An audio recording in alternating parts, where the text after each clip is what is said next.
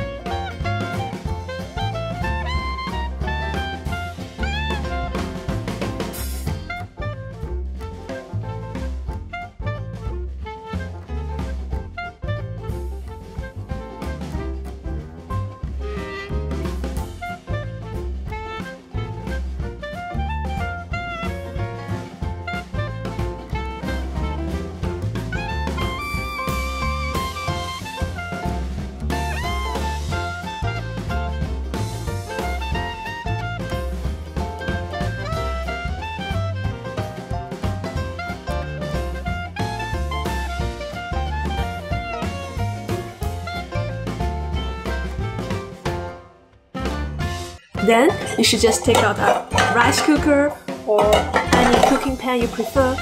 But just make sure this one's really deep so that after you boil the soup, it won't overflow or something. Then just open your hot pot soup base package. Mine contains several small packages. First one is some powder. Put them in your cooking pan then I also got some dried chili pieces. Oh, that's lot actually. If you cannot eat chili, don't put all of them in. Also, there are some black beans. Just add it in if you like. I also got some chili oil.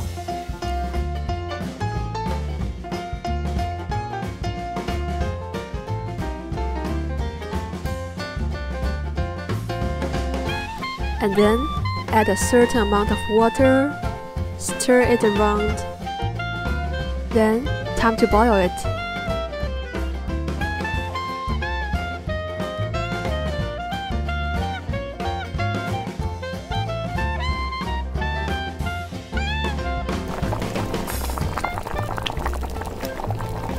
Wait till the soup is boiling.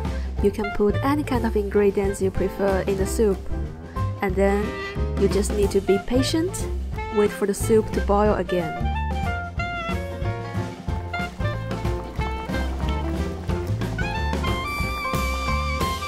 And now you can enjoy your meat. Meanwhile, cook the ingredients for second round.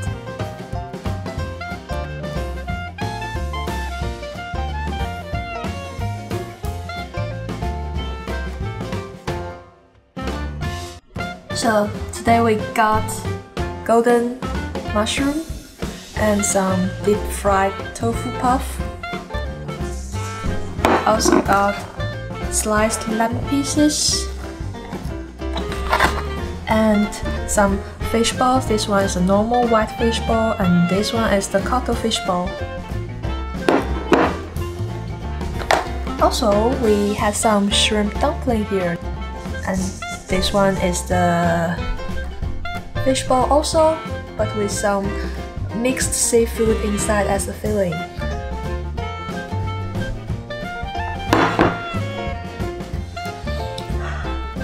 Smells so good! Now we just finish cooking the sliced lamb pieces. Uh, we got this one frozen from the Asian market and then this one doesn't need to cook long like uh, when the hot pot is boiled you just throw it in and then cook for 10 to 20 seconds uh, then they're ready to eat. Let's try it.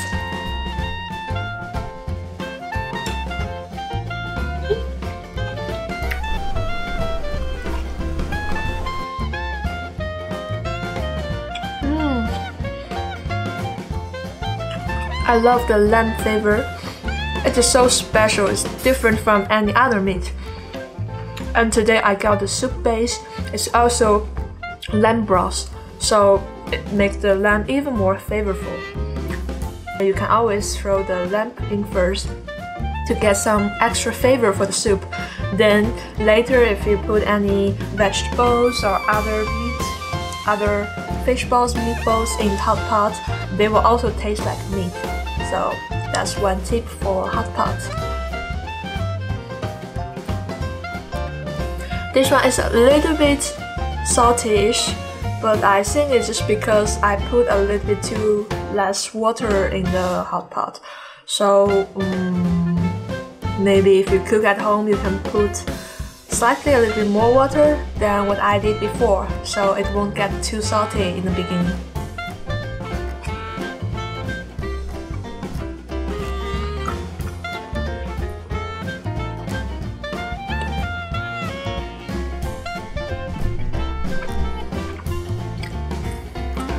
Even though the soup base is said is spicy, but actually it's not spicy at all in my opinion.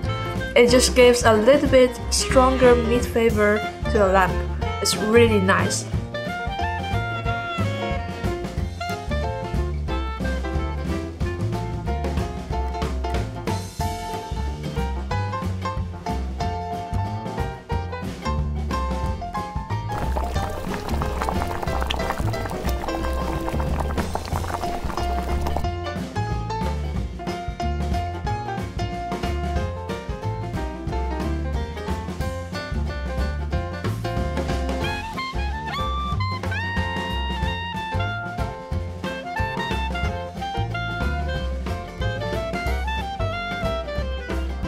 This one's pooping just now. You see that? I took a bite and then come out from the other side.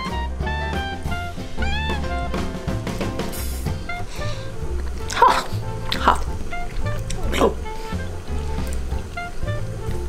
So this one is the fishball with mixed seafood fill filling. But actually I have no idea what's in it it does taste like a lot of things mixed together, but what exactly it is, I don't know. It tastes nice though. The inside is really soft, it's a little bit like watery-ish, but it's really seafoody. What's it called?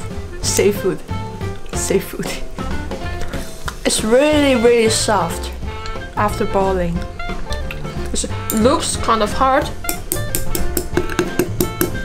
but after boiling it's really tender, soft. You can easily put your chopsticks in. Boop. Oops. And I want to show you something. It's really bad now. This is the shrimp dumpling. Look at this. It's just like the rubber outside. It looks so bad. I didn't expect it would become like this. It was supposed to be like transparent color and really cute, really oh nice taste, but I have no idea can I even eat it or not. It still tastes nice. I still want to recommend you to get this one, even though I know it doesn't look so good, but shrimp dumpling is always shrimp dumpling, always my favorite.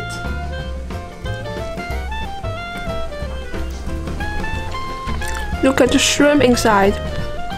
Such a huge piece. Mmm.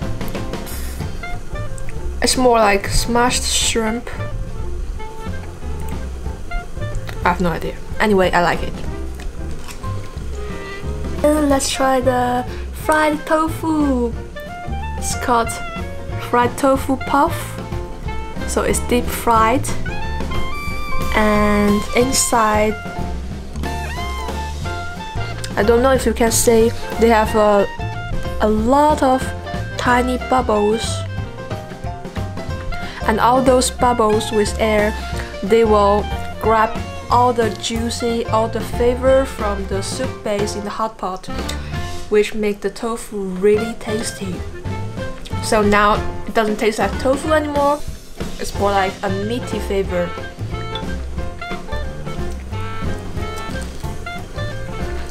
Tofu is one of the highly recommended ingredients you should get for the hot pot, especially the deep fried ones. I still want to try this ball.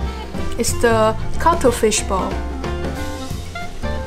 I think it will taste the same as all the other fish balls, normal fish balls. It all tastes like the hot pot base at this point because we already boiled for quite a long time. All the soup is already sinking into the ball. So, oh.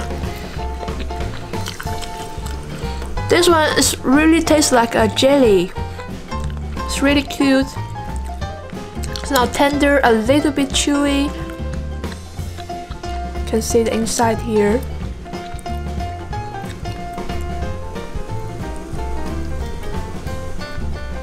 And if you chew carefully, you can still feel there's a little tiny piece of cuttlefish inside. It gives a little bit more rich texture. I would say the cuttlefish ball is more um, no, we already finished. But I would say the cuttlefish ball here is more tasty, more flavorful than a normal fish ball because you can really taste the small pieces of the cuttlefish. So I would say if you only want to try one fish ball, then grab it.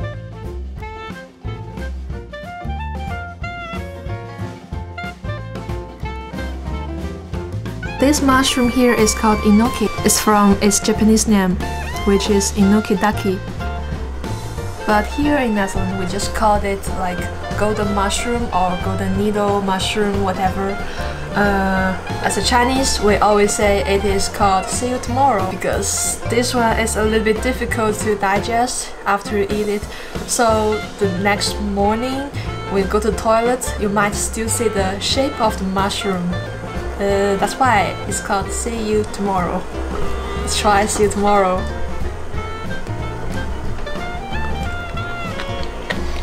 Hmm. It doesn't taste like mushroom at all now.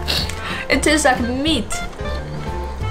I think it's because I, I cook it for like 5 minutes in the hot pot. So now it just tastes like the lamb soup. That's why they said this kind of mushroom is really good uh, ingredients for the hot pot because it will grab all the flavor from hot pot. So it doesn't have a strong flavor itself. Like some mushrooms, you can really taste mushroom flavor, but this one, uh, it will grab all the flavors from the soup, from the meat, from other vegetables, other ingredients, and then it just tastes like every everything.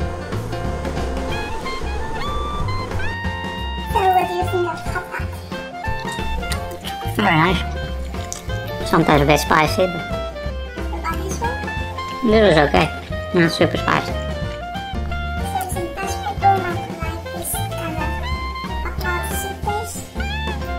Yeah.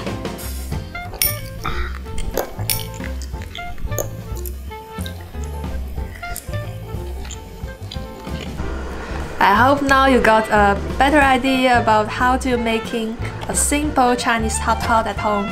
If you have any questions, please leave me a comment below. And if you enjoyed the video, uh, give me a thumbs up and click the subscribe button below so you won't miss anything I upload later.